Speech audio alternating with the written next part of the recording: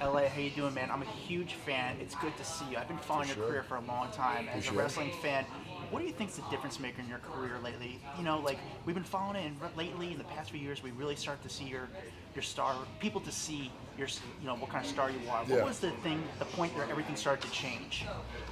Uh, the point that everything started to change was actually getting a shot to be on a big stage, uh, just be in front of the WWE audience. Um, I, I don't mean to sound um, arrogant or anything like that, but I, I knew I had something a long time ago, at least in the last five, six, maybe even ten years.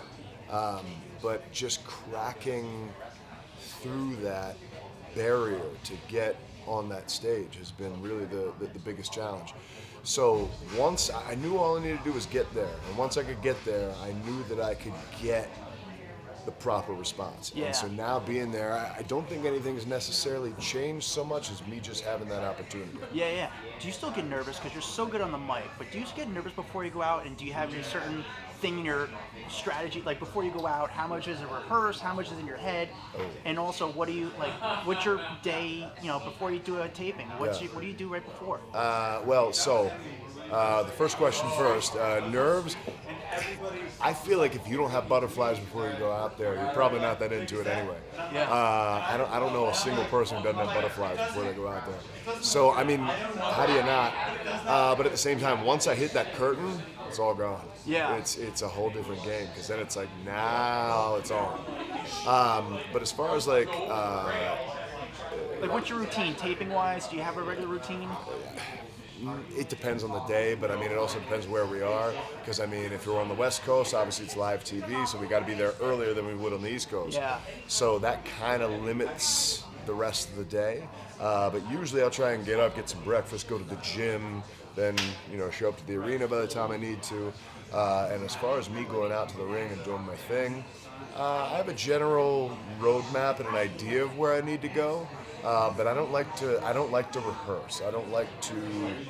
I don't like to like walk through things or talk through things too much because then it doesn't feel very authentic to me. Yeah. So like I, I want I want the first reaction to be real. I don't want anybody to know what I'm gonna say. I don't even sometimes know what I'm gonna say because sometimes I need to actually like feel the situation, listen to the people, listen to whoever I might be out there with and talking to.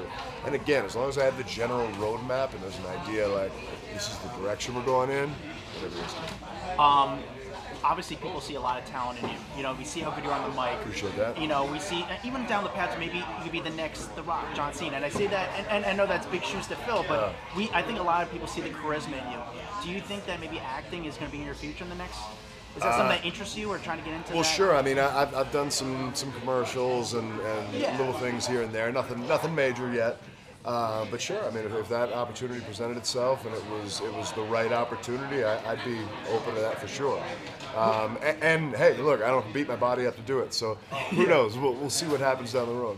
Who's the coolest person that's been in your DMs? Oh boy, uh, well, I can't remember her name. No, I'm kidding. Uh, um, Jeez, there's a lot, uh, especially in the last few years. But I mean, considering, you know what? I'll say pre WWE, uh, Steve Austin. That's pretty cool. Because even before I got to WWE, uh, I ended up going on his podcast, and I guess there was a little bit of buzz for the show that I was doing before that. So he ended up, since I was living in LA and he was in LA at the time, he had me come in. So that that was kind of a cool little surprise. That's pretty awesome. Yeah. Lastly, I know you're a big fan of Bojangles. What's your go-to meal at Bojangles?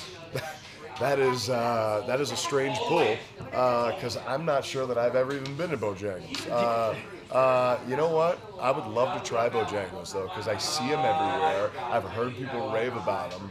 Uh, I, I need to actually go try it and just see what their chicken's all about. So I, I don't have a favorite, but I'd like to go there and find a favorite. I love my friend. Good to see him. A huge Yes, fan, indeed. buddy. Appreciate it.